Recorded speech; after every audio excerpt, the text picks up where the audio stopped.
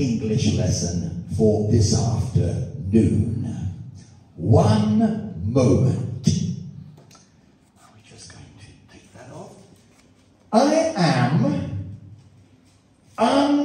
uncovering, uncovering a person.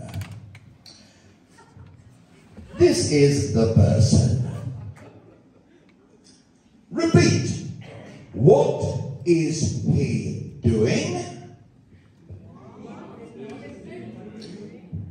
Very good. He is eating the toilet paper. Now, what are you doing? I am eating the toilet paper.